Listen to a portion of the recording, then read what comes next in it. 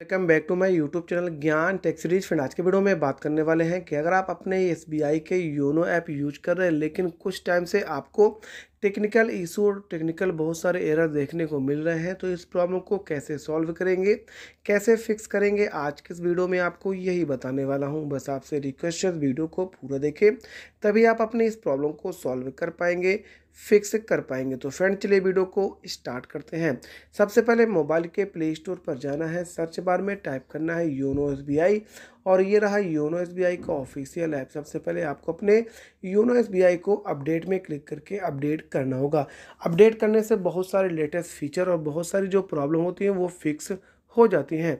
दूसरा तरीका है, जाना होगा मोबाइल की सेटिंग्स पर। अब आपके फ़ोन में जितने भी सेटिंग्स हैं आपके सामने ओपन होके आ जाएँगी थोड़ा सा नीचे जाएँगे। यहाँ पर आपको देखने को मिलेगा ऐप्स का ऑप्शन। ऐप्स में क्लिक करेंगे। अब आपके फ़ोन में जितने भी ऐप्स इंस्टॉल हैं, सभी ऐप्स यहाँ पर ओपन होके आ जाएँगे। थोड़ा सा नीचे जाएँगे। यहाँ पर आपको देखने को मिलेगा योनो एस का ऑफिशियल ऐप। इसमें क्लिक करेंगे। इसके बाद थोड़ा सा नीचे जाएँगे। यहाँ पर मिलेगा इंस्टॉल अननोन ऐप। यहाँ पर क्लिक करके अगर आप यहाँ से परमिशन अलाउ नहीं किया तो परमिशन को अलाउ कर लेंगे।